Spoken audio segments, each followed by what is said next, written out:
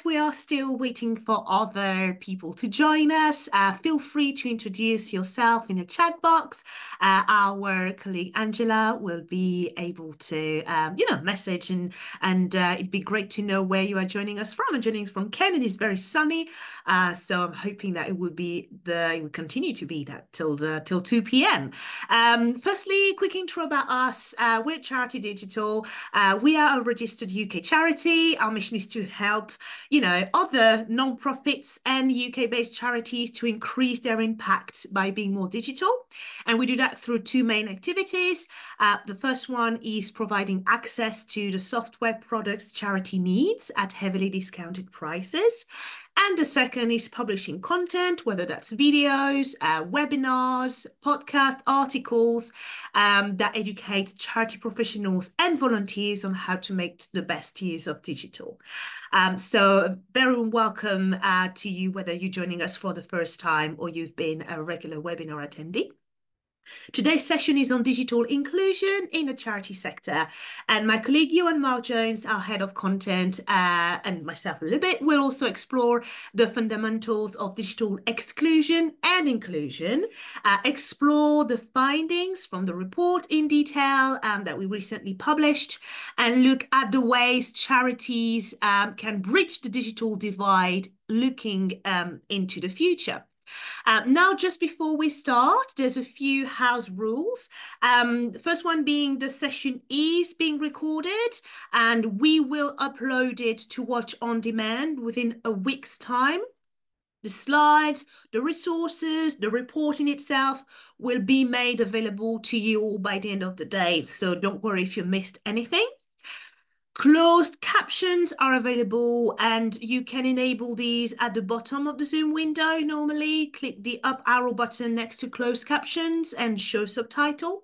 Um, during the webinar, please ask loads of questions in the Q&A section and we will um, spend about 10 minutes answering them towards the end of, uh, of the hour. And then if you have any other comments, tips or experience, that's in the chat section. If there's a particular question in the Q&A section that you would like answered, uh, you can also upvote the question. And then if you have any uh, sound or image issue, please do let us know in the chat section and we'll do our very best to um, get back to normal as soon as we can. Um, without further ado, let me hand over to Johan. Hi, welcome. Hi, Lisa. Thank you for the introduction. Uh, hi, everyone. Uh, yeah, I'm going to crack straight on. So to start, we're looking at the background to our digital inclusion campaign. Um, so every year at Charity Digital, we focus our attention on an area that we think would make the most impact. So it aims at tackling the most important issues that are currently confronting the charity sector. So in 23, we launched a climate action campaign complete with the knowledge and insight hub, short and long form articles and webinars and uh, podcasts. You can see an array of them here.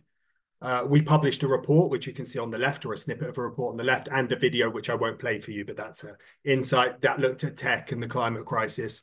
Our goal is always to dig deep to explore what's happening across the sector. We want to uncover key routes to success and identify areas of improvement. So in the simplest terms, we aim to help the sector progress. Um, so this year, uh, in 2024, we decided to focus on digital inclusion. Uh, so why did we do that? It's an issue that aims that aligns with our mission to support the use of digital in the charity sector, but it's also an issue that we feel was somewhat ignored or at least underappreciated. So as ever, we set about doing what we do best, which is conducting research and creating content to help charities become more digitally inclusive. So in the first few months, for example, uh, we took some decisive action. We collated a detailed digital inclusion resource bank, which you can see on the left, uh, we wrote about what it feels like and, uh, and, interviewed some people about what it feels like to be digital, digitally included, excluded, sorry, in 2024. And we wrote a really long form how-to guide to help charities tackle digital inclusion, some of which is included in, today, in today's webinar. We explored the concept of the purple pound and we improved our own website accessibility as much as we could. We sort of investigated what we could do and figured the easiest ways of, of improving our own thing and hoping that in improving our own website accessibility, we could pass that knowledge on to other people. We were learning the entire time, and with every article we wrote, every piece we commissioned, every session of training we attended, and every conversation we've had with charities dedicated to digital exclu exclusion, we've learned loads. So uh, this is about to start what we've learned. So the fundamentals of digital inclusion. Let's start with some definitions. Uh, digital exclusion is when individuals or communities can't fully benefit from digital. Exclusion stems from a wide range of factors, including connectivity issues, lack of online accessibility, and the lack of skills. Digital inclusion is when digital technologies, services, and opportunities are fully accessed, used, led, and designed, importantly designed, in equal, meaningful, and safe ways. The above, in the simplest terms, defines the two concepts our campaign sought to tackle. So let's explore digital ex exclusion to start. What are the main causes? So the online and offline worlds currently don't operate in ways that are inclusive to everyone. Websites and digital devices are not always built with uh, for people with disabilities in mind, and digital tools can prove expensive for people to effectively access essential services. Many people do not possess the skills, the knowledge, or the confidence to effectively use digital tools, Geographical factors, such as people living in landlocked, remote, or disaster-prone areas, can lead to digital exclusion. And related to the geographical, many people are excluded sheerly by the absence of effective infrastructure, which it tends to enable digital usage. So who precisely faces digital exclusion? Well, it impacts people across the world. Uh, so according to the International Communications Union, for example, 2.9 billion people are excluded digitally worldwide. According to a recent Deloitte report, one in seven people in the UK currently face digital exclusion. The Great British Geography of Internet Use Engagement maps out online behavior and shows that lower internet use exists among rural communities. And it also notes that lower trends of, of usage are based on the age of the area and the socio-economic characteristics of people living in that area. So that means older people do face higher levels of digital exclusion. Uh, we, we tend to see that a lot. But digital exclusion impacts people of all ages, not just older people, as is sometimes presumed. It's sometimes almost framed within that in, in that prison sort of thing. Uh, people from any socioeconomic background can face digital exclusion, but again, exclusion does tend to hit people from lower income areas and households. And economic shifts does impact digital exclusion. So one obvious example, a recent example, is the cost of living crisis. So in 2023, the UK Communications and Digital Committee reported that an estimated 1 million people have cut back or cancelled internet packages in the last year due to affordability issues. A report from the Lloyds Bank found that cost of living crisis impacted 35% of people in the UK, that's around 18.7 million people, in their ability to go online. So it's a widespread issue and can hit a lot of people, and that's that's what our research uh, has told us, especially when it's often considered to hit people, um, only older people, people from um, lower socioeconomic backgrounds. Um, so digital inclusion is the act of countering digital exclusion uh, in the simplest terms. We can separate inclusion into four key categories, availability, affordability, accessibility, and participation. So let's start with availability. Uh, uh, availability, digital inclusion means ensuring physical objects and infrastructure are available to all. That might mean smartphones, computers, fiber optic cables, routers, uh, satellites, and so on. That also means appropriate speed and quality of the internet, always allowing people to use digital services effectively, whether they're studying, working, accessing vital services, and so on. And the ability, the absence of availability excludes, preventing people from meaningful digital engagement and availability is quite closely linked to affordability. Consider, for example, that while 95% of people around the world could theoretically access a 3G or 4G mobile broadband network, billions of them are currently unable to have that access. That's at least partly because many cannot afford access. Digital inclusion means ensuring cost is no longer an obstacle. And cost means every element of digital, ranging from costs of hardware, software, tools, platforms, online services, internet data, and so on. Affordability is a social issue, one that concerns us all. An exclusion based on unaffordability is an issue of inequality. Consider, for example, that many people with disabilities typically earn less and face additional cost challenges, such as the financial impact of assistive technology. Lack of affordability stems from inequality, but also heightens inequality. The Digital Poverty Alliance, as you can see on the slide, say it much better than I could. So being cut off from digital isn't just an inconvenience, it compounds and exacerbates poverty. That's no longer something we can ignore if we're interested in a just society. Brilliant there from the DPA. Uh, next is accessibility. So access means ensuring digital is designed for everyone. Designed is a key word here. Designed for everyone, regardless of gender, age, ability, or other characteristics, or location. As per the social model of disability, it is not an impairment that disables people with disabilities, but the barriers that are created by society. Barriers exist in both the physical and the digital realms. Barriers are created by the design of digital tools and the internet failing to meet access needs, reflecting social biases towards people with disabilities. The UN Roundtable on Digital Inclusion, for example, found that digital accessibility could be implemented by legislators, legislators, policymakers, IT providers, platform creators, and other stakeholders. The key term here is can. At present, many of those people are simply not doing enough. For charities, access means ensuring service users with disabilities can access those services. A report by Scope, for example, uh, found that people with disabilities are more than 50% more likely to face barriers to accessing online and digital service. That's something we need to change and quickly. As Tim Berners-Lee, the inventor of the World Wide Web, states, the power of the web is in its universality. Access by everyone, regardless of disability, is an essential aspect of that. So moving on to the final piece is participation. So digital inclusion means the freedom to participate. A significant barrier to access is where the digital environment is hostile, unsafe, or otherwise unsuitable to people to, for people to participate. The internet is a space where exploitation and exclusion occur posing significant barriers, especially for marginalized, minoritized, or vulnerable people. Common online tactics include gender-based violence, harassment, cyberstalking, cyberbullying, misinformation, disinformation, phishing, hate speech, censorship, surveillance, data exploitation, and so on. There's a lot to cover there and probably outside the realm of this webinar. But we look at loads of those in our, in our campaign.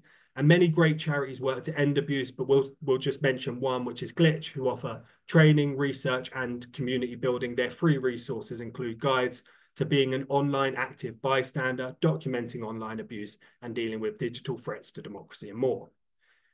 So to summarize, digital inclusion involves availability, affordability, accessibility, and participation, ensuring that people from around the world are capable of a meaningful engagement online. But what about the charity sector? How is the charity sector tackling digital exclusion? How is the charity sector aiming to promote digital inclusion? That's why we created our report. That's why we engaged in it in the first place. And our report, Digital Inclusion in the Charity Sector, we'll turn to now. I'll hand over to Lisa. Thank you. Uh, thank you very much, Johan. And yes, so we'll we'll delve a little bit more into the findings of the digital inclusion um, in a UK charity sector report. Um, we launched it as part of the obviously our campaign this year uh, because we wanted, above all else, to better understand the sector and explore the digital exclusion challenges that um, charities are facing. Um, so we broke the report into three sections sections. Um, the first section is digital services. So, um, you know, we're going to share a few numbers here. So don't worry if, um, you know, it can be a bit uh, perhaps overwhelming. Everything is going to be on the slides and will be shared with you anyway. Um, but very importantly, uh, our survey found that this year, 90% uh, of charities are now using digital tools uh, that can be laptops or using Zoom and smartphones to deliver their services. Um, so it's, it's, it's a great start because it's shows that the sector has grown in skills and digital capacity. Um, compared to 2020, there were only 60% of charities who were delivering services online. Um, and more than a quarter of charities were actually forced to cancel services because of the lack of digital skills and technology. Um, so Obviously, the fact that so many services are now being delivered using digital is excluding service users who aren't online.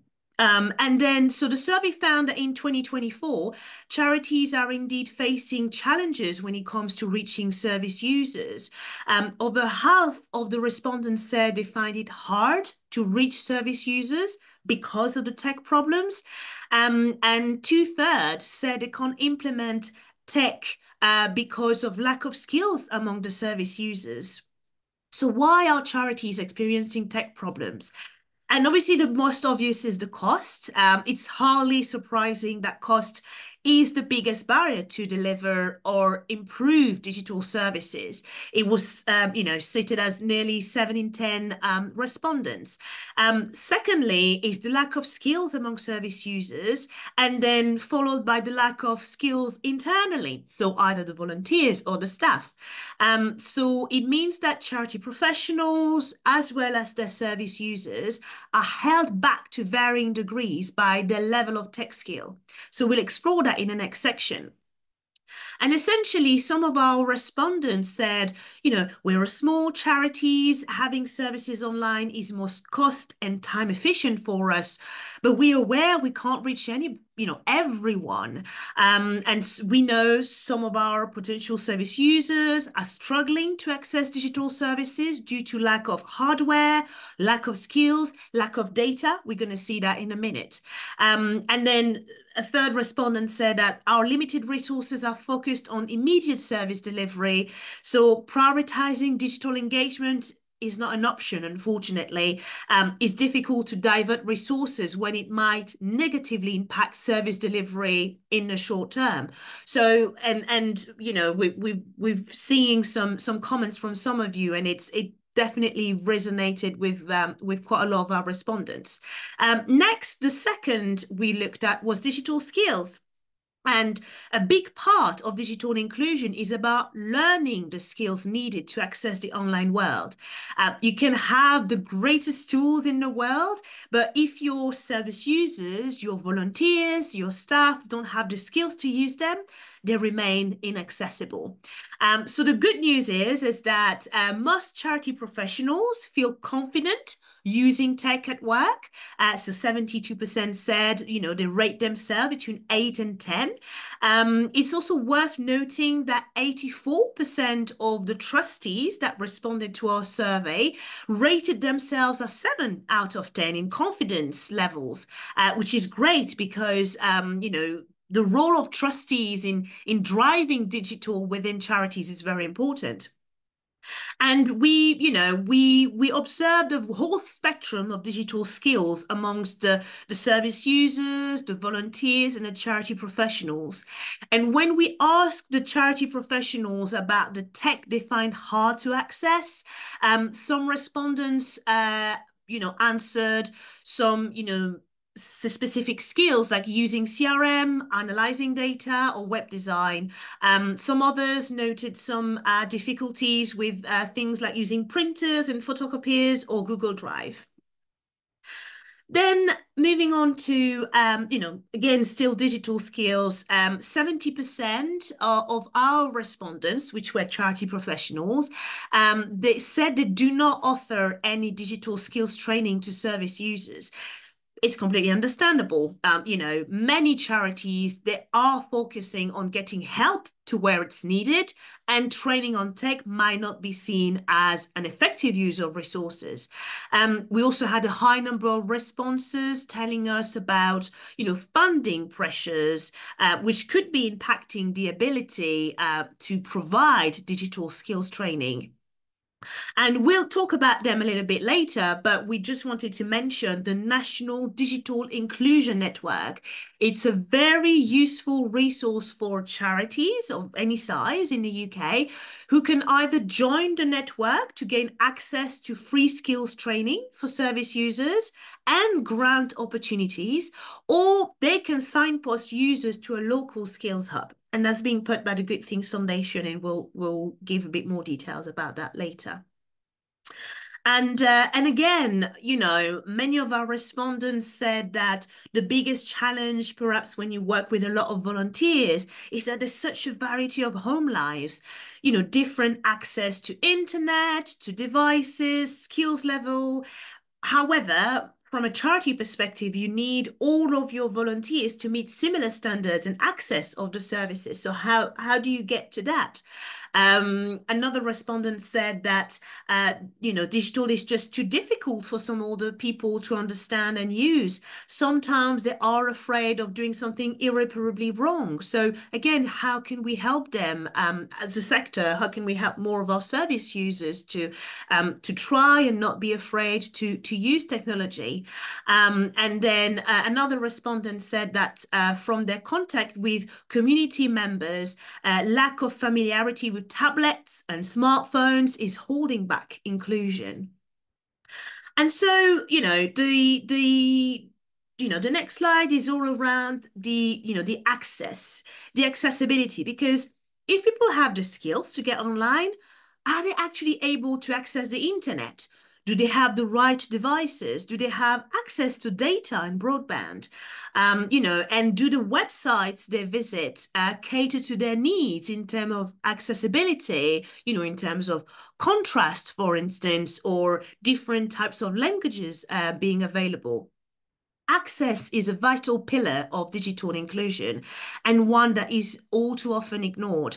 Um, you know, access is prevented by various means, Obviously, lack of skills is a primary issue cited by close to 50% of our respondents. Um, lack of confidence, you know, follows closely, cited by 46%. And then costs appear again, cited by 37%, suggesting that funding for digital inclusion remains, you know, a priority, but it's still, you know, it's still being hindered by, by the lack of funding. And then um, obviously moving on to the the fact that uh, you know there's other um, hindrance to digital access. It's obviously you know lacking suitable devices, you know the right you know lacking platform, internet connection that also are posing challenges to charities. Um, so there was also some issues with online servers, lack of mobile coverage. And, um, you know, CRM was also uh, cited as an issue in order to access digital really easily. And essentially, um, when it comes to accessibility, um, close to a third of our respondents say they are unable to make the most of their tech because it is not accessible to people with disabilities. And this is a huge problem. Um, you know, online accessibility is important for every sector.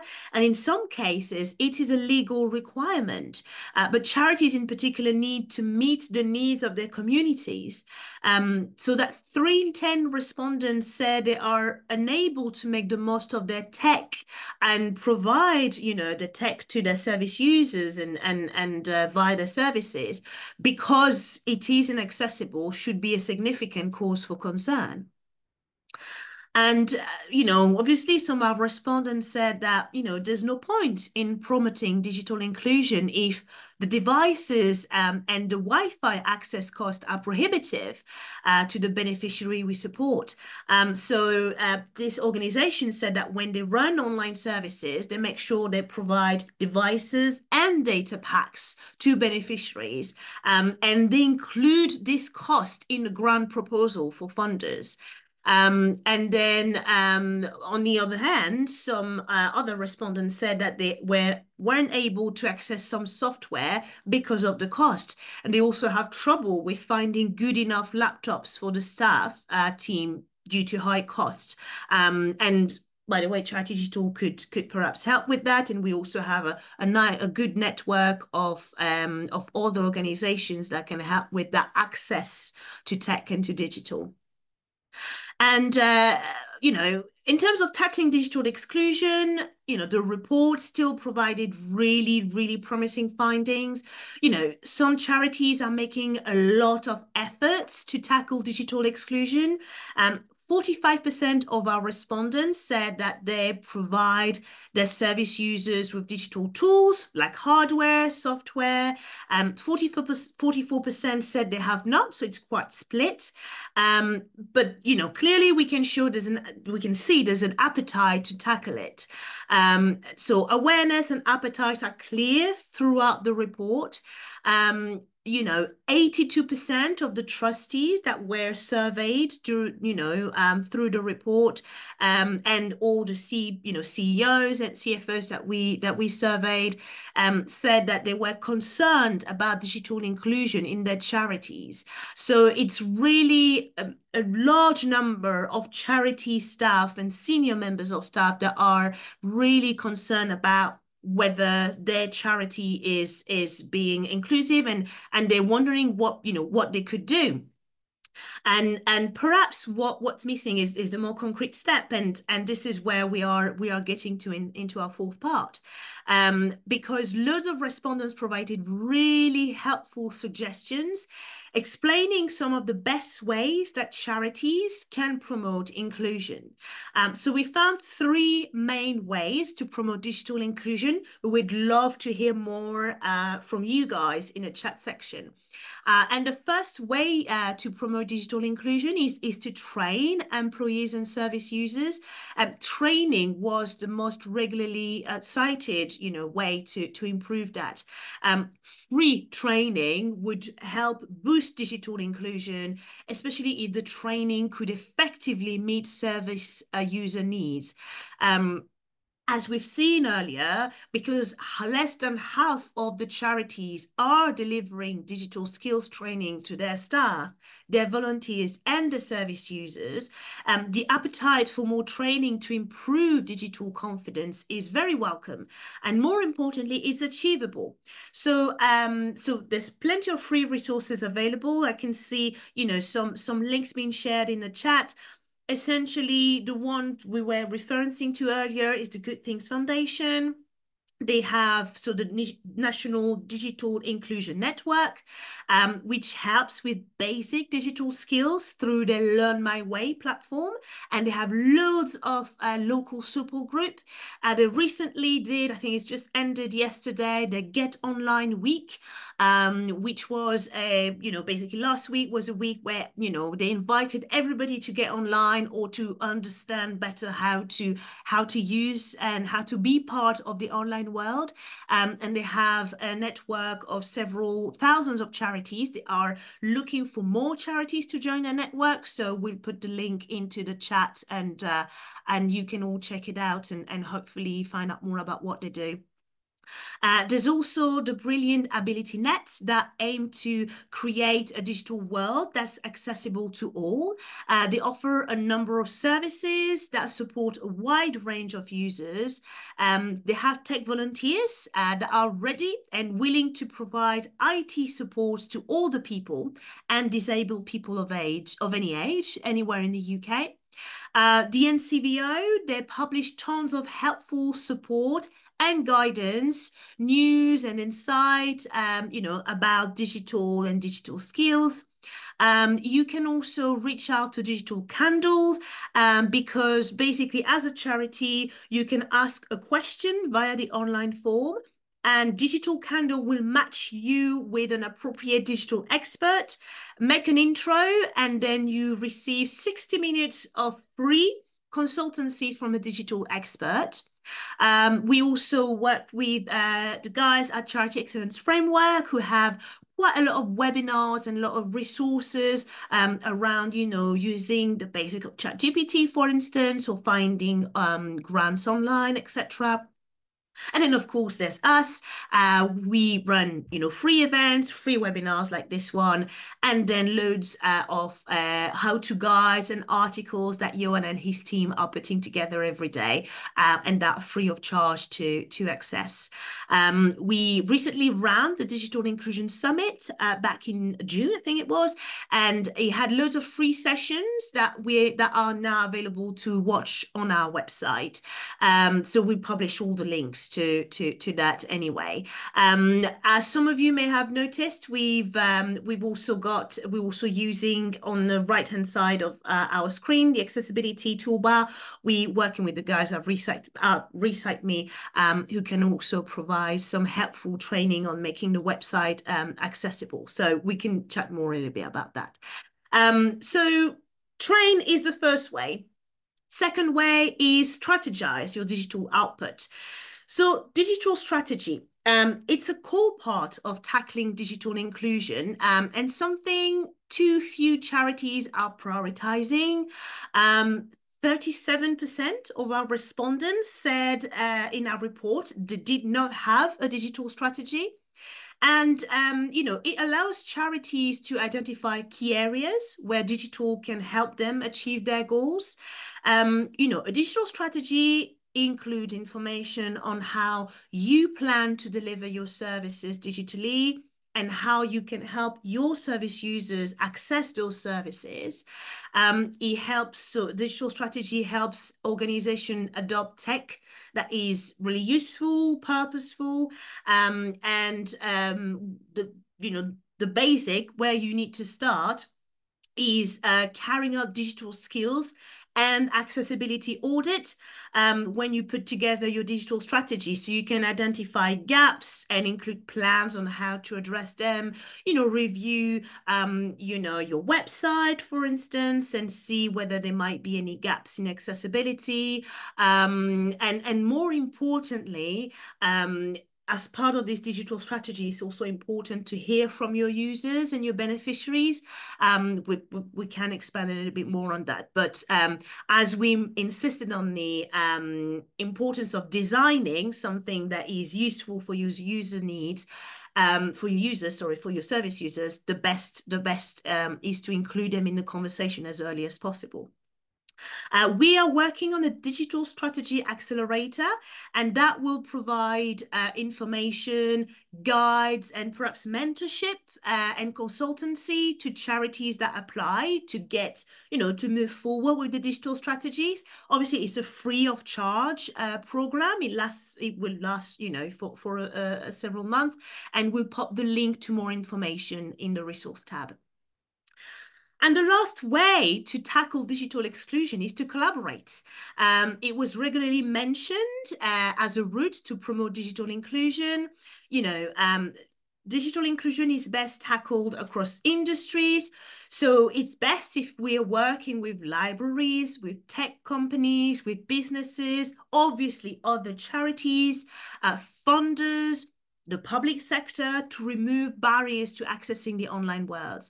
Um, and when asked where they can find help when confronted with digital exclusion, um, many charities have pointed to work of their peers in the sector, uh, like their own IT professionals, to network like the Digital Poverty Alliance, some libraries, some local government initiatives. Um, so since we launched our campaign in January this year, we found a very open and receptive sector, um, one that is willing to make changes and forge a more inclusive path in the future, which is really, really, um, really great to see. So yeah, we've collaborated with Digital Poverty Alliance, AbilityNet, uh, Recite Me, uh, which I was talking about uh, earlier today, um, with uh, PIR as well, which is Public Interest Registry, and they have loads of free contents on how to make the best of you know your online presence and and how you can be more visible and inclusive. Um, and we provide links to all of them below so so you can check them out and uh, and yes, and then we can share a little bit about uh, digital inclusion charities we love. Back to you, Johan. Yeah, we just on on the, the spirit of collaboration. I think we just wanted to end by shouting out some people that have done great things. Um, so these are some of the charities uh, that we we love, and, and we're just gonna yeah just talk about them a little bit. So start with the Good Things Foundation. They're a brilliant organization. I think a few people in the chat have mentioned them already. Their national data bank provides free data in partnership with Virgin Media O2, Vodafone and Three. Uh, the data bank is organized through local community organizations in the charities network who make individual assessments and provide people with data voucher codes. Good Things Foundation also have a national de device bank, which I think someone did mention. Um, organizations can donate laptops, desktops, and smartphones, which are then refurbished and given to people most in need of a working device it's a really simple and brilliant way to boost digital inclusion. Uh, in a similar vein, the Digital Poverty Alliance are a fantastic organization working really hard to tackle digital poverty. Their global community hub is a place for discussion and collaboration, a place where partners, champions, and people from across the sector can learn from each other, share best practice advice, and just co create digital inclusion solutions to help charities and their service users. Um, we made a pledge with them recently. Um, we'll share that in the resource. We're apparently going to share a lot in the resources, but mm. um, but uh, we will share it all. And the the pledge, we encourage other people to take it because we took it and they helped us on that journey and made it really seamless and enjoyable. So we learned a lot by doing that. Lisa? Yeah. And then uh, we've also learned a lot from our friends at AbilityNet. Uh, they have designed loads of great services that help charities connect online with service users who have disabilities. So they have advice and information that can help your charity uh, become uh, a disability inclusive workplace and obviously be also fully uh, mindful and inclusive of um, uh, service users with disabilities. Um, there's also the charity Scope, uh, uh who transform attitudes towards disability to tackle injustice and inspire action. And also them are providing uh, resources to help your organization to embed accessibility in you know processes culture um, and it's the most important and what they are doing really well they allow organization to ensure that you know your content writers the, the, the website designers um, or you know the website developers or the platform developers for whatever you are providing to your service users making sure that they have the correct training understanding and attitude toward inclusive design. Um, and again, it can be very simple um, and and uh, doesn't need to be to be too expensive. And and they can provide loads of great advice on how to get started. Yeah, and two more perhaps more familiar uh, charities in, in the broader sense, um, Sense and RNIB. Uh, they both do incredible work improving accessibility of operating systems. Uh, they provide a wealth of resources and a range of support to help charities improve mobile and computer accessibility. Uh, we found them really opening and welcoming charities. So our advice to everyone else is if, if you have any issues around accessibility and you're struggling to find answers online or, or in other places, just get in touch with them directly and I'm sure they'll be happy to help. So just go straight to, to them and, and I'm sure they'll provide you some, some access or at least point you in the right direction. Yeah, they had a really, really good session on social media at the Digital Inclusion Summit. Um, and they were really, really great at explaining how to make your social media activity and campaigns and marketing inclusive and accessible to everyone. Um, so yeah, we highly, highly recommend them. Um, and then we also uh, have been working, hearing from our friends at Age UK.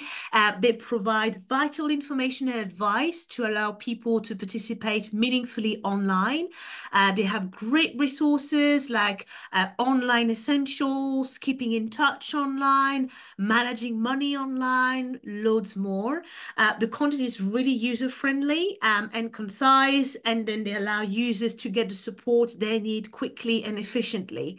Um, and last but not least, uh, we've got Glitch, which is an award-winning charity that we mentioned earlier. Um, and they work to end online abuse and champion digital citizenship. Um, there's also a specific focus on Black women and marginalized people. Uh, they provide brilliant free resources, so, such as the Fix the Glitch 3.0 toolkit, um, and that's created to help people combat um, digital, uh, you know, racism and discriminations. Um, and and obviously, there's there's plenty more, uh, aren't there, Johan? Yeah, uh, just to mention here, as you can see in this slightly more uh, vibrant slide. Yeah, mm -hmm. this uh, all the charities we compiled um, of the just actually to be honest, they're just some of the charities working hard to tackle digital inclusion. Um, sorry, to promote digital inclusion. And so yeah, check them out. And obviously we'll send these slides round. Uh, we'd, we'd like to say personally a massive thank you to all of them for teaching us, for mm. helping others, and for making the online world a more inviting, welcoming, and inclusive place. So, yeah, we'll put as many as we can in the resources tab below. And a lot of them are embedded in articles like the um, all you need to know about digital inclusion will have that, and the data, uh, the resource bank will have access to all of these charities, what they're doing, and specifically what they're doing to tackle digital uh, to tackle digital exclusion, promote digital inclusion.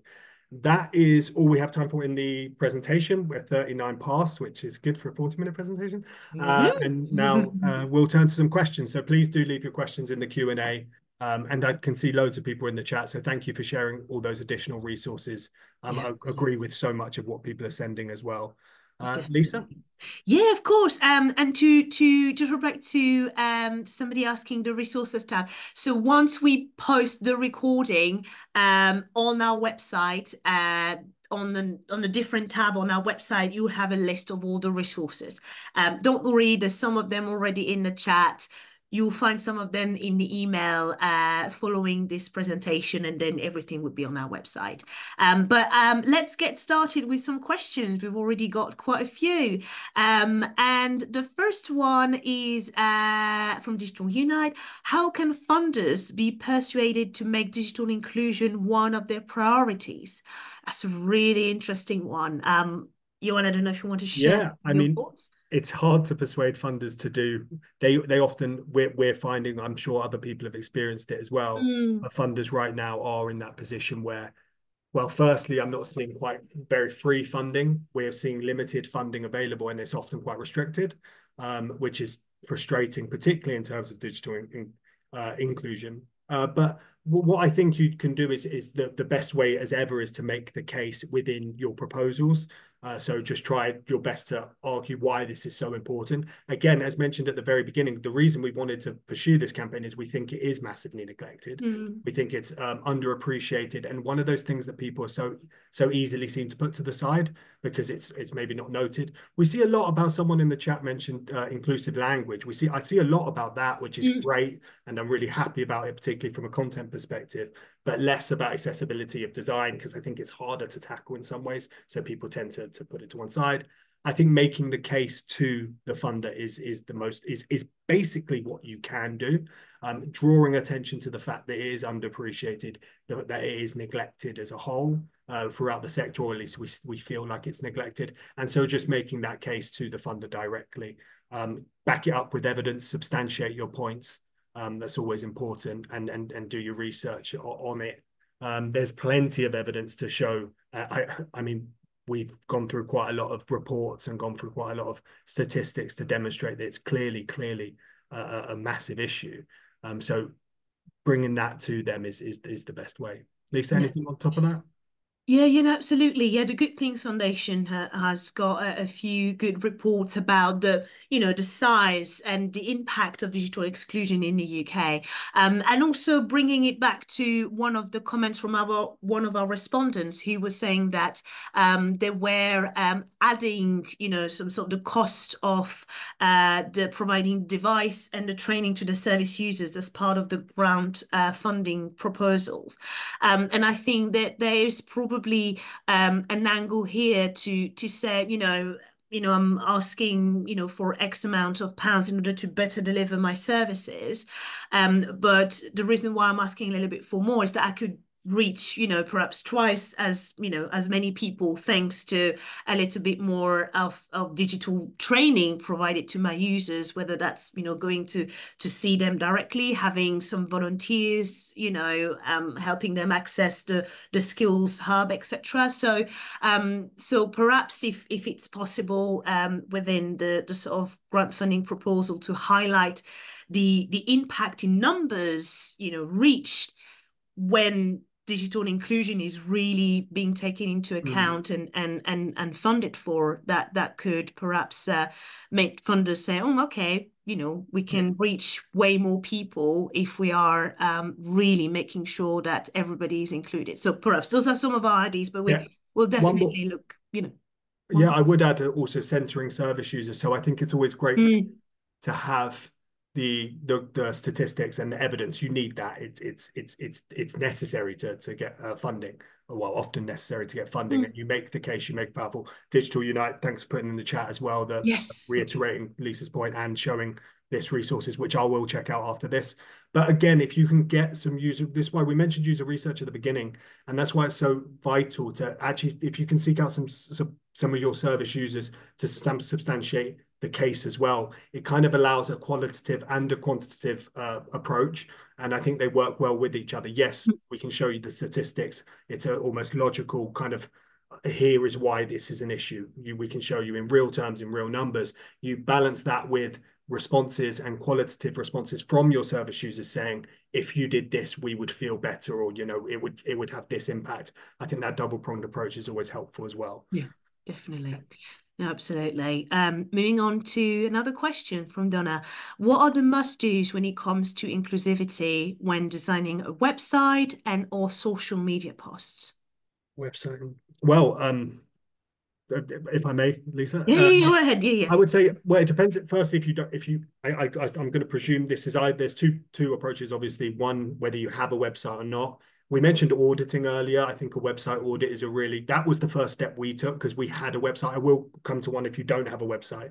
Uh, but yeah, if you do have a website, which I'm sure a lot of people on this call, uh, this call, this webinar will have, I would say yes. Start with your audit and work out where your issues lie, uh, because if you know that's where you can then see where you can approach it. There is something to say that everyone doesn't have infinite resources big teams and labor and, and money to spend. So the audit can be done relatively cheap and then it gives you a sense of what is achievable. You know this isn't a you can't complete everything and we have to accept that and be generous with each other in the sense of being aware of that. Mm. so yeah finding out what you can tackle first in terms of web design is and and in terms of what you're doing wrong really or what, what's not quite there needs needs to be the first steps. And then you'll find as we found there's some really simple steps you can take um, and often cost effective steps you can take. So that's really good. In terms of actually starting if you are starting then i would go down to research with the people you're starting with probably. You know so you have loads of different platforms you can use to design a website and you can do it bespoke or you can use you know wordpress or, or wix yeah, or, or yeah. what's the other ones i can't can't remember off the top of my head. But yeah, if you do go with those and your your your goal is inclusivity and, and, and great access, then I would probably do your research to find out which one of them provides the best the best access and the best inclusivity options because they will have differences and some of the best places to look is online and see what people think about those websites that's all really available um, and you can also there's other other uh, tools that might prove helpful, and this is a, maybe not answering the question directly, but just just I think might be helpful for other people on the webinar. We there is uh, models you can put your website through that that gives you an immediate like score of accessibility. We had a similar thing with um, climate change. Uh, you could have you know do an emissions thing for your websites, which is also we'd suggest people doing.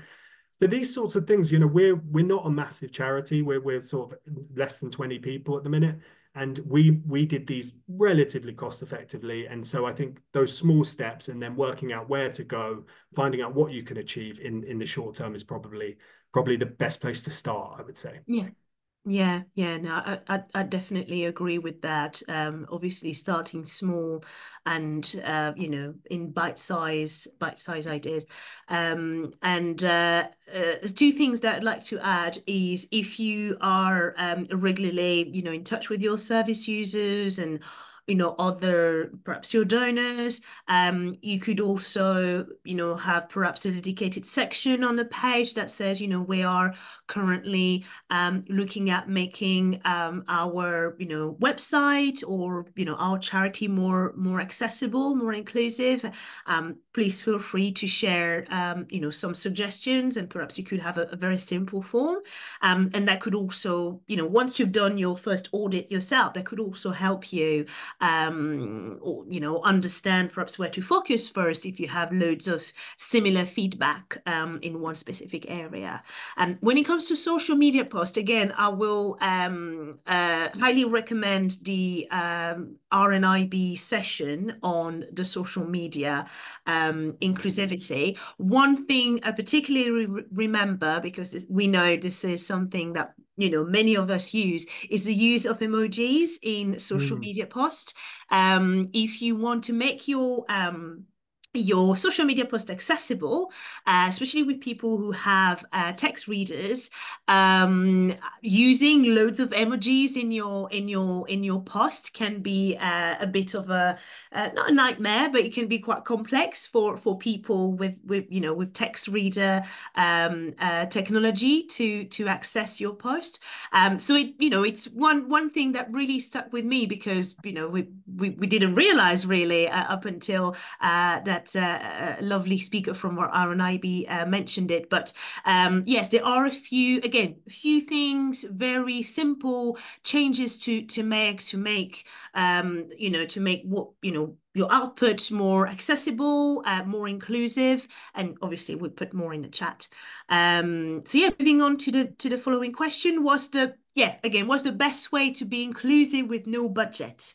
Um, Johan, I don't. Well, um, yeah, I mean, the the thing that came to mind is with in kind of leading on from the next question. If you're talking on in in the context of websites, social social media, mm. one thing I think generally is good for everyone is simplicity, um, and I mean that. I, I think inclusive language, for example, is the is always the language I prefer anyway. I, I think it's it's the most accessible language. It's the language that that speaks to the most people in the simplest possible way.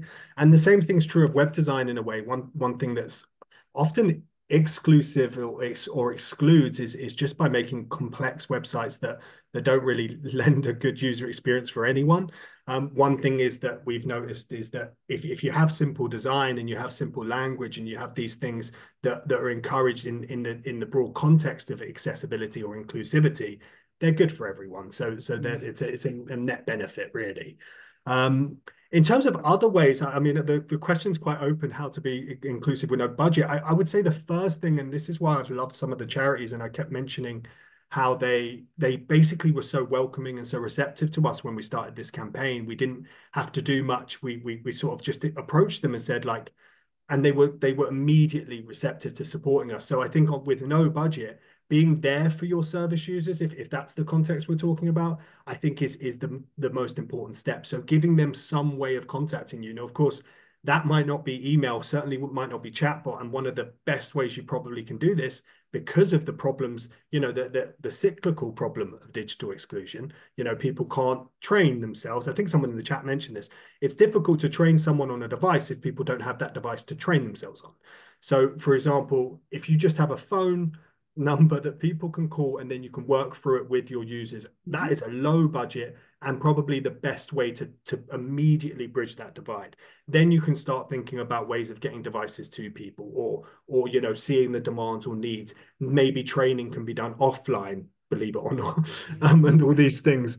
Uh, but it is that is I think it, it is a crux of an issue that we've seen over and over again and one that often isn't really talked about as much as we probably should and maybe we need to commission articles on it but how to how to get broaden that gap not broaden that gap sorry close that gap uh, the initial gap when people don't have access to the the tech that would allow them to be trained and allow them to have digital inclusion to be part of digital inclusion. Mm-hmm. they don't have that. So yeah i would say say go back to basics and make sure that you have that simple ability to contact you and have a conversation with you and, and start uh, service users off Lisa, I don't know if you want to add stuff because that because it's quite a broad question. I'm not sure. Yeah, yeah, and and and then also, um, as you know, as we were saying, um, you know, if, if you can speak to speak to peers, speak to other mm-hmm. charities, um, you know, in the same geographical area, or perhaps that are delivering perhaps similar services to you, um, ask them, you know, how they are doing, and and perhaps they could have also loads of great, uh, you know low budget suggestions uh, uh, for you uh, to to implement or to explore. Um, but yeah, so so so again, it's all about you know bringing it back to basic and, and speaking with uh, with people in the same boat, and you will you will often hear great great suggestions. Yeah. Um, and on that, yeah, I mean, sorry to interrupt, yeah. but yeah, like we mentioned, digital candle earlier, for example. Mm -hmm they are one of many organizations that in, yeah. kind of infrastructure, small low, low level infrastructure organizations that will will for free just talk you through these on a I mean there's only so much we can do in a Q&A on a web on a webinar mm-hmm. and our advice won't be unique to your needs. So go and approach those organizations who are free of charge and they will talk yeah. you through and they are experts on on the tech issues that that mm-hmm. will confront your service users. So they're going to be far more helpful than us. Uh, uh, yeah. Try, we're trying our best. We're trying our best. we're, we're no digital candle. um, moving on to the next question. So, uh, somebody asking, are there any forums, spaces where we can get together to collaborate on some of these issues? Yeah, I'm sure you know some as well, Lisa. But uh, just to start off, Digital Poverty Alliance Global Community Hub. I mentioned, yep, it's a place of discussion, collaboration, and we've we've found it useful. And to be honest, a lot of these charities actually do offer that as as a as a key part of it. Uh, but I do find that place a, a, really nice place to go and have a chat and, and find these other charities um, that mm. are, you know, experiencing the same issues or experiencing similar issues. And a lot of the joy of Digital Poverty Alliance is they might uh, offer you some and themselves will offer you some advice about how to tackle individual issues. Um, yeah, yeah. I don't know if you have any others specific. Yeah, the, yeah, the Good Things Foundation and their network. Yeah. Um, that they, you know, once you join the network, you um, you you get, you know, you receive regular communications, and uh, and yeah, it's also a great way to to speak with peers and and charities in a similar similar situation. Mm. Um, so yeah, we we'd recommend we'd recommend that. Um, you can also ask questions on uh, a website called Charity Connect. Mm. um, where you know where other charity professionals can can provide tips and, and guidance. Um, that's a bit more generic, but yeah, Digital yeah. Poverty Alliance and Good Things Foundation could be could be great great starts. Yeah. And just to add as well is if you have a unique exclusion issue, for example, if if age, mm. finding age a predominant thing, then maybe approach charities that are related to that. Age UK would obviously be the obvious one. Mm. Um, but yeah, if, if you you're finding that, that a lot of your service users are uh, older and and that's the issue you're facing, if it's more affordability or sort of socioeconomic issues, then there's charities that deal with that too. So just you know, if you can locate, identify the the nature of the digital in inclusion exclusion issue and th there may not be one. As i mentioned there's not always one and sometimes they're presumed and it's actually a lot of, more of a widespread issue than initially presumed. But if you can locate a direct issue then maybe reaching out to those individual charities or those charities that deal more specifically with with your your uh, issue would be would be good as well Brilliant. Thank you, Johan. Um, another question. Uh, would you say all charity websites should now have accessibility toolbars as long as they can afford to do so? My charity has been resistant to the idea, stating that the web design meeting um, WCAG is enough, which I thought is disappointing. Yeah, I will. For this one, I, I do know there is opposing opinions. So what mm. I would mm. say is we found the toolbar mm. helpful um, people do think that you should actually just have i mean the, the the essence is that charities should or websites should be accessible regardless of the toolbar. That's one uh, a, a, school of thought if you will. Um our our perception really and our approach has been that the toolbar we we found Recite toolbar helpful and we think it's been helpful for our service users and we have heard uh, positive things but just because you have a toolbar, I think this is the key for me. Just because you have the accessibility toolbar doesn't mean you should forget accessibility across your site. If people aren't using the toolbar or if it's not there, then you can still you still should do things like always use inclusive language. Try to have a text for speech option as much as you can, or at least I mean, one thing we did again with limited resources because you have to pay for the text for speech. There's places like Eleven Labs, for example, that we've used, and and other places, and you do get it on the toolbars. But the text for speech options are costly, so we tried to put it on as many of the sort of higher uh, reaching articles or articles that dealt mm-hmm. specifically mm -hmm. with uh, digital inclusion and exclusion and so on and so forth. So it's always about trying to find a balance. But the one thing I would say overwhelmingly is that you should with with or without a toolbar, you should should focus on making your website accessible anyway. Um, and I think that that's kind of where I land on it. But as I said, I, I have heard other people have have different opinions of of toolbars, and we did our research and, and landed in a particular place. But go and, and hear both arguments is what I would yeah. say. Yeah, yeah, absolutely. Um, and again, and as uh, as as a as I could add is if you um, are able to speak with perhaps some of your service users yeah. or other stakeholders um, and ask them a very simple questions, you know, do you do you think our website could be more more accessible? And if so, you know, what, what would you suggest?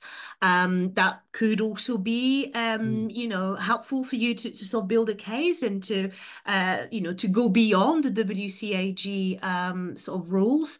Mm. So yeah, um, you know, if if you're able able to have, uh, you know, again, some data from your stakeholders to to sort of back back up your wish for for more uh for more accessibility then it's, it's always good. Um yeah. and uh, and yeah and then um i'll end with with the last questions. Um any advice on adding images or describing images for accessibility? Um there might be some an answer around alt text perhaps that we yeah i would say alt text is definitely the, the place to start. And yeah. i mean we have an article on I'll, I'll if i remember or if our producer remembers uh, we'll add that to the resources as well. It's it's just there's simple ways of doing alt text that are really effective. So for example the common mistake is people say this is an image of which is all a bit redundant. Um but so like for example if it's an image of you know a zoom logo you just write a Zoom logo. You don't write this is an image of a Zoom logo. There's loads of other advice about being, you know, really clear, using concise language, which honestly applies to alt text, but should apply for your writing across your website as well. Um, and and and finding, uh, you know, images. We we try and have a consistency of style within our images for various reasons, but that along with an image policy. I guess brings us to one final point, and we're at the end of time. I'm aware of that, but at the same time, one final point is that creating a policy around accessibility in every realm of, of your content or or your website is, is a really important thing to do. So for example, we embed it within our house style so that everything we write, every image we source, everything we upload has this sort of has to go through the policy and make sure that we're doing taking these steps to make sure that our content is accessible so creating a policy around images creating a policy around content around videos and making sure you're always mindful of accessibility mindful of inclusion is probably the the big biggest step you can take towards that goal from a content perspective um, a content and comms perspective Brilliant. Yeah. Brilliant. Thanks very much, Johan. And uh, yeah, that's all we've got you. time for today. Thank you very much to all of you for joining us. We hope you found it, uh, yeah, insightful and, and you had a, a few uh, takeaways from it. Um, we will share some link, uh, obviously, and resources uh, in uh, in the chat and by email. Um, and there's also some feedback we'd love for you to to give us in order to to continue to provide um, some great and relevant webinars. So thank you very much to all of you. Have a great rest of the, the afternoon and the week and hope to see you again soon. Thanks, Thanks Cheers, Lisa.